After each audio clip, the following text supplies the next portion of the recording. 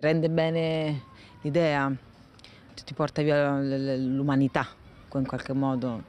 Eh, si parla di, in realtà parla di faida, parla di, di mancata libertà di scelta sia da parte di Marilena che di Andrea, parla di doveri verso la famiglia eh, e di doveri di una donna verso il marito, eh, parla dell'opposto dell'amore e del, della libera scelta, parla di una donna coraggiosa e di una madre che, che,